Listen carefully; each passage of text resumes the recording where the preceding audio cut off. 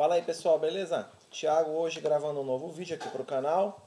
Dessa vez eu vou fazer um tutorial explicando como criar, converter os arquivos em RAW da SJ7 usando a ferramenta de conversão que está disponível aí para download, ok?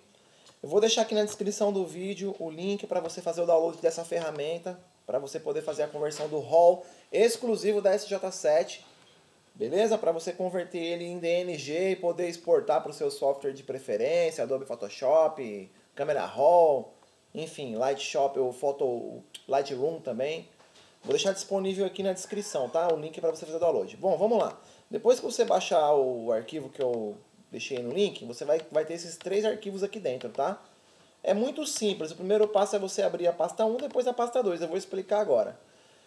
Você capturou as fotos em RAW, na sua câmera. Ah, detalhe, deixa eu deixar claro aqui também para você que chegou agora e não conhece esse procedimento. Esse sistema que eu estou explicando nesse vídeo serve apenas para SJ7 Star, ok? Não serve para SJ5000, nem para SJ6, nem para M20. É exclusivo para SJ7 Star. Apenas, tá, pessoal? Só para deixar claro aí, porque às vezes o pessoal confunde e acha que eu estou explicando para todos. Já tem um vídeo aqui no canal explicando como é que faz a conversão, tá? Para o SJ6 e para SJ5000 e M20 também. Na SJ7, para você capturar em RAW, você tem que habilitar no menu a opção RAW e escolher a resolução em foto 12 ou 8 megapixels. Por quê? O sensor da SJ7 é nativo 12 megas que ele captura e ele interpola para 16. Então, se você quiser fazer foto em RAW com 16 megas, você não vai conseguir, porque é uma interpolação, não é o arquivo real. O real é 12, é o nativo do sensor, ok?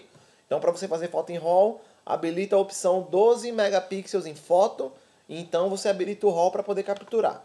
Capturadas as imagens em RAW, se você já fez a captura, tudo bonitinho, tudo certinho aí, você vai salvar na sua pasta de arquivos, ó, as minhas estão aqui, todos os meus arquivos em RAW, como vocês podem ver, ó. Propriedades, tá vendo? O arquivo em RAW da câmera tem 20 megas aproximadamente, ok? Já está aqui. Você baixa os arquivos que eu vou deixar disponível aí no link, abre a pasta número 1 e abre esse primeiro arquivo aqui, ó, RAW2DNG ok? Executa ele. Ele aberto, essa interface é super simples, você não precisa mexer em nada, não precisa fazer nenhum manuseio, ela vai ficar assim, ó, paradinha aqui para você. Você já deixa selecionada a segunda opção, por padrão já vai estar ela, que é 12 megas, se você capturou em 12.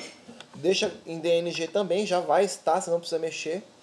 Aqui, você pode clicar em File com o botão direito do seu mouse. Clique em adicionar arquivos, que é ADT Files, né? No caso aqui, minhas, meus arquivos RAW estão todos misturados. O que, que eu vou fazer? Eu vou mudar o modo de exibição para detalhes. Isso é no meu, tá? No seu pode fazer de outra forma. Eu vou pegar desde o primeiro até meu último arquivo em RAW. Tá aqui, ó. Peguei todos os arquivos em RAW. Coloquei em abrir. Subiu 41 arquivos, tá vendo? 41 files, 41 arquivos. Feito isso, eu dou um aqui e seleciono a pasta que eu quero salvar. Se eu não quiser mudar ela, eu deixo aqui, ó, Save to Same Folder, para salvar na mesma pasta dos arquivos e dou um converter. E aguardo ele fazer a conversão, tá vendo? Ele vai começar o processo. Vai processar foto por foto. Lembrando que as fotos têm que estar em 12 megas, tá, pessoal? Para dar certo. Se você tentar tirar foto de 16 megas, você não vai nem conseguir capturar em RAW. Só vai sair JPG comum lá na, na câmera. O processo demora um pouquinho, de acordo com a quantidade de fotos. O meu aqui, como são 41, vai levar um certo tempo. Então é só aguardar. Ele vai já salvar na mesma pasta de arquivos que eu tenho aqui disponível. Tá aqui, ó, salvando um por um, ó. Tá vendo? A DNG, ó. Cada um que for passando, ele vai mostrando aqui pra mim, ó. Ok? Fazendo essa aqui agora, falta bem pouquinho. Tá sendo feito aí no momento.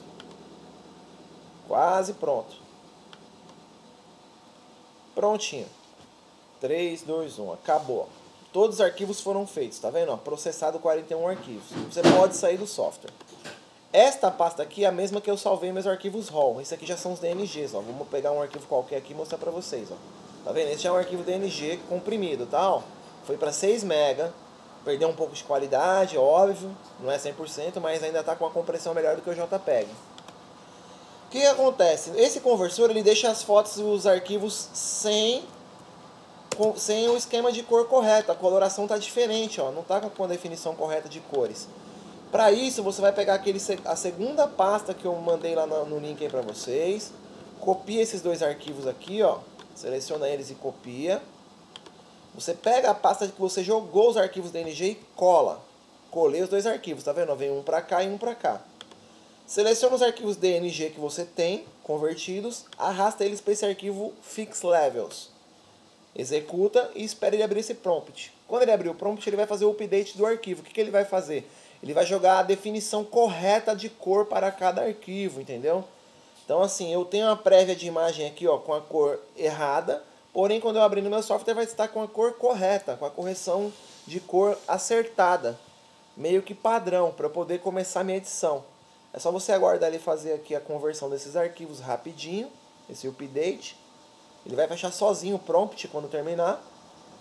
Prontinho, prompt terminado. Aqui então eu pego um arquivo meu qualquer de foto e abro. Eu estou usando nativamente o Photoshop para olhar minhas fotos aqui em RAW, mas você pode usar o Lightroom, pode usar qualquer outro software que você tiver preferência aí que faça a leitura do arquivo DNG, ok? Deixa ele carregar aqui, só um minutinho, terminando a carga. E eu vou mostrar para vocês como a cor já fica correta. Tá aqui, ó. Ele já vai abrir sozinho o arquivo em RAW para mim, ó. Tá vendo? Já saiu um arquivo DNG, aliás, já com a coloração praticamente perfeita, entendeu, pessoal? Praticamente perfeita a coloração aí. Com isso que feito, eu posso manusear minha imagem tranquilamente pelos meus softwares. Ó. Vou mudar aqui para automático, vou mudar aqui a exposição para alto também, vou mexer na minha nitidez, tudo de acordo com o meu gosto, da forma que eu quero fazer, entendeu? Posso mexer aqui nas cores, vou pegar esse verde aqui e jogar mais preto, vou jogar mais branco para ele, olha lá o verde mexendo, olha que legal. Isso aqui eu não ia conseguir fazer no meu arquivo JPG tão bem, entendeu? E aí eu consigo manusear minha imagem aqui, ó, da forma que eu achar melhor.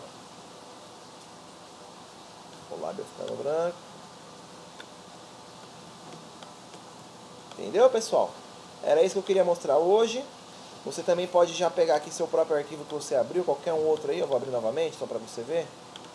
Abriu. Eu posso salvar ele direto para JPG, com um processamento melhor aqui do que o da própria câmera. Posso fazer na qualidade máxima e salvar na mesma pasta dos arquivos RAW. Vou salvar ele aqui, tá salvando automaticamente ele vai criar um arquivo aqui para mim do lado. Olha aqui o arquivo criado, ó, novinho. E aqui já é um arquivo JPG gerado a partir do DNG, com alta qualidade, da forma que eu processei. Tá vendo? Joguei nitidez a mais. Claro que eu não fiz nenhuma edição, só joguei aqui direto. Ó, tô ficando careca, hein? Mas tá aí, pessoal, ó, só para mostrar para vocês que funciona o conversor de RAW agora na SJ7 Star, ok? Qualquer dúvida estou à disposição, é só perguntar, beleza? Agradeço a todos que assistiram o vídeo, desculpa aí se faltou alguma informação. Qualquer dúvida, estou aqui à disposição, só perguntar, pessoal. Valeu, obrigado!